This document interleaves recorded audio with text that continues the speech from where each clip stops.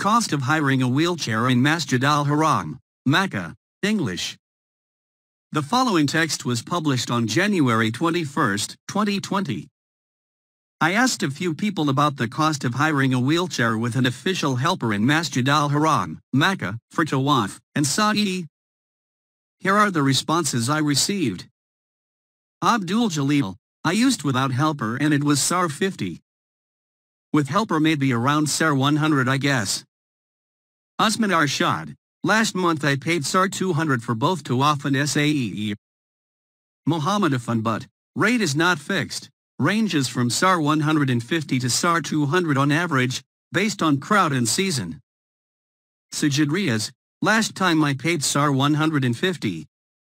Abu Bakr Farooq, I have used it for Sa'ee for my kids, cost around SAR 70.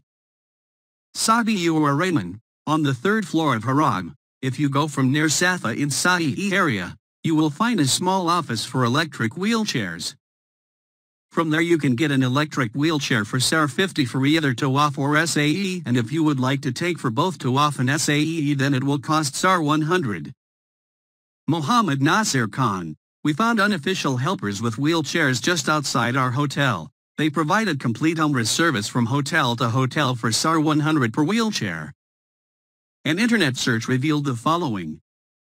Marwan Asmar, I hired a wheelchair and a uniformed attendant, provided at a cost of 200 Saudi riyals that goes towards the upkeep of the haram. Omar, in Masjid al-Haram there are two kinds of wheelchairs. 1. Regular wheelchairs, no driver there are more than 10,000 wheelchairs dedicated to elderly people free of charge. And all you need to do is to register your information at Wheelchair's office and they will hand it to you under one condition that you return it to the same place.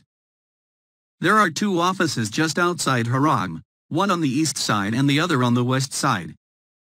You can ask any staff there to guide you to its location, ask for a free wheelchair or in Arabic Majaman.